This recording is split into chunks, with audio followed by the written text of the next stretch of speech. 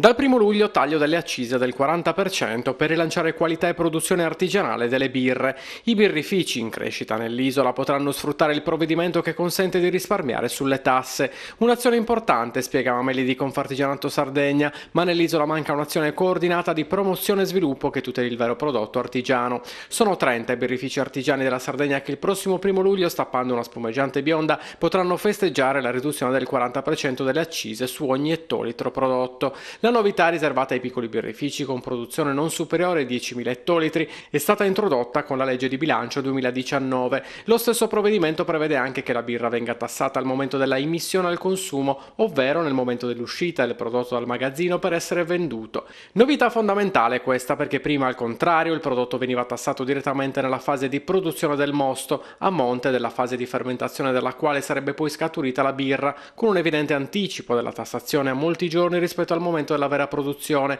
e soprattutto tassando anche quella parte di prodotto che alla fine del ciclo produttivo veniva scartato. Secondo alcuni calcoli effettuati, i birrifici potranno tagliare circa 20 centesimi di euro per ogni litro di birra prodotto, con un risparmio medio che va dai 10 ai 15 mila euro, un gruzzoletto che le microrealtà potranno utilizzare per l'acquisto di macchinari oppure in ricerca, formazione e comunicazione.